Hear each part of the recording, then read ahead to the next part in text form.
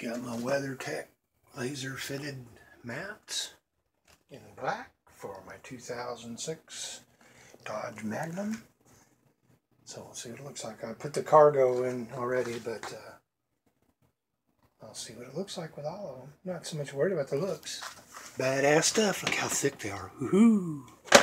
Sorry, I don't mind the floor. I've been sweeping and it's messy.